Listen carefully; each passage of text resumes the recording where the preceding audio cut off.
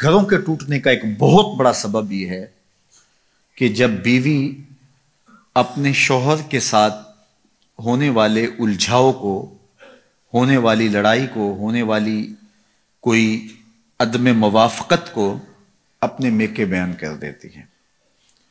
تو پھر یہ شوہر کو گوارا نہیں ہوتا کہ ہمارے اندر کا معاملہ باہر جائے۔ اگرچہ اس نے زیادتی بھی کی ہو لیکن پھر بھی وہ اس بات کو پسند نہیں کرتا کہ میری بات کہیں اور جائے۔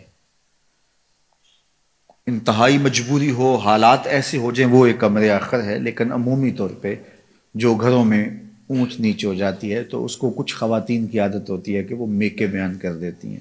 پھر وہاں سے چلتی چلتی پورے محلے گلی میں پھیل جاتی ہے۔ اور وہ نہ بھی اس پہ بات کر رہے ہوں، لیکن لہجوں کی تلخی اور رویوں کا تبدل اس شوہر کو بتا دیتا ہے کہ معاملہ کیا ہوا ہے، جو بات ہوئی ہے وہ کیسے پہنچ گئی ہے۔ اگر انہوں نے اس کا تذکرہ سسرال نے اس کے ساتھ نہ بھی کیا ہو۔ تو یہ ایک جو ہے وہ انسان کو اللہ نے حساسیت دی ہے، وہ ان چیزوں کو محسوس کر لیتا ہے کہ معاملہ کیا ہوا ہے۔ اور یہاں آج کے زمانے میں تو ہمسائی کو بھی بتا دیا، رشتہ دار کو بھی بتا دیا، وہ واٹس اپ گروپ بنے ہوتے ہیں، پورے گروپ میں ڈال دیا۔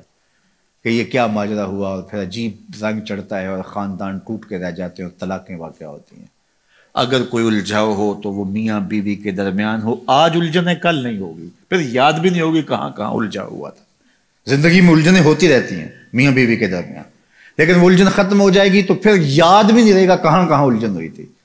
لیکن اگر وہ میکے پہنچ گئی یا سسرال پہنچ گئی، وہ الجھن محلے گلی میں پہنچ گئی تو وہ ساری زندگی نہیں بھول سکتے اور کبھی یہ بھولنا چاہیں گے بھی تو کوئی یاد کروا دے گا۔ تو زندگی کی تلخیاں برقرار رہیں گی۔ اس لیے خاتون کے لیے یہ بہت اہم معاملہ ہے۔ گھروں کو ٹوٹنے سے بچانے کے لیے کہ جو ہے وہ کبھی بھی اس معاملے کو آگے نہ بڑھنے دیا جائے۔ میں آپ کے سامنے حضور کا ایک واقعہ رکھتا ہوں۔ ہمارے ہاں تو یہ ہوتا ہے نا کہ بات کہاں سے کہاں پہنچ جاتی ہے، چھوٹی سی بات ہوتی ہے، پھر اس بات کا بتنگڑ بنتا ہے، پھر میکے پہنچتی ہے، پھر میکے سے آگے، خالاؤں میں، پھر نانی، دادی، پتہ نہیں کہاں تک بات چلی جاتی ہے۔ اور پھر اس پہ تبصرے شروع ہوتے ہیں اور پھر گھروں کا چین لٹتا ہے، پھر لڑائیاں بڑھتی ہیں، پھر فساد پیدا ہوتے ہیں، پھر طلاق تک نوبت ہوتی ہے۔ بعض کا بچے بھی ہوتے ہیں، بچے رل جاتے ہیں بیچارے۔ تو ایسے واقعات روز نگاہوں سے گزرتے ہیں۔ تو یہ ایک بنیادی چیز ہے۔ جب آگ لگتی ہے تو وہ بالکل چھوٹے پیمانے سے لگتی ہے، پھر بھڑکتی بھڑکتی وہ پورے جنگل کو جلا دیتی ہے۔ تو خاتون یہ کہے، میں نے تو تھوڑی سی بات ہی کی تھی، نہیں، اپنے آپ کو کنٹرول کرو۔ صحیح بخاری میں روایت ہے، ایک دن حضور تشریف فرما تھے ام المومنین سیدہ عائشہ رضی اللہ تعالیٰ عنہ بھی تھی۔ فرمایا، عائشہ، جب تم مجھ سے ناراض ہوتی ہو، مجھے پتہ ہوتا ہے۔ کیسی ناراضگی تھی کہ حضرت عائشہ بتایا نہیں کہ میں ناراض ہوں، لیکن حضور فرمایا کہ جب تم ناراض ہوتی ہو، یہاں تو میکے تک پتا ہوتا نا۔ فرمایا، مجھے پتا ہوتا ہے جب تم مجھ سے ناراض ہوتی ہو۔ ناراضگی چل رہی ہوتی ہے تو مجھے پتا ہوتا ہے۔ تو حیرت سے پوچھا، آپ کو کیسے پتا چلتا ہے؟ یعنی میں تو بتاتی نہیں۔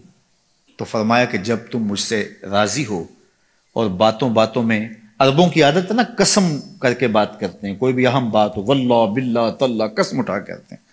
تو کہا، جب باتوں میں قسم کی نوبت آ جائے اور تمہاری میرے سے کوئی ناراضگی نہ ہو، تو پھر بات کرتے ہوئے تم کہتی ہو، لا و رب محمد۔ مجھے محمد کے رب کی قسم۔